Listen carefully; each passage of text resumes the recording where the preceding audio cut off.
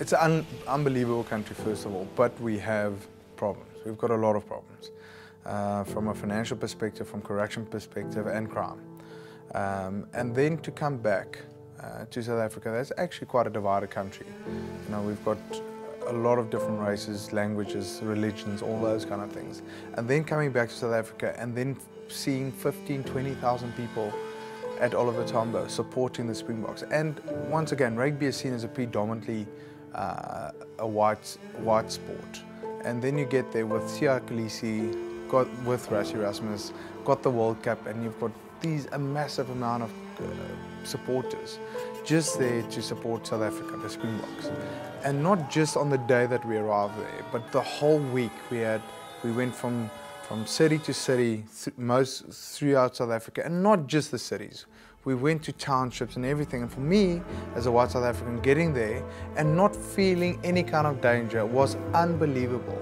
People running down the streets, irrelevant of your background or upbringing or the color of your skin, we were all united. And you, I know a long time ago, Nelson Mandela said, um, sport, sport has got the power to unite.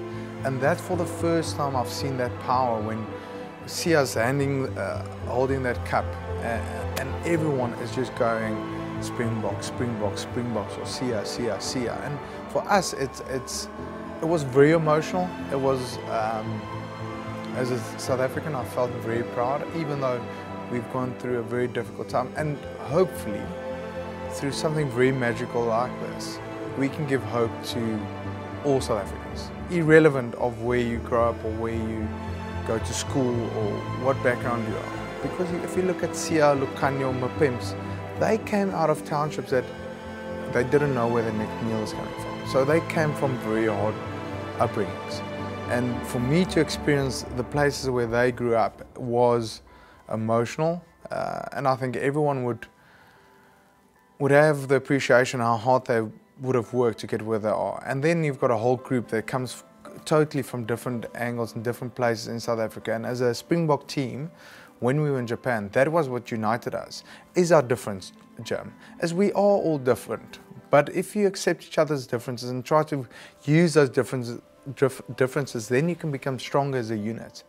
And that was sort of the chat around um, our team. You know, it's so many different uh, backgrounds, cultures and things, and let's embrace each other and let's make it the best World Cup ever. And that was um, pretty special.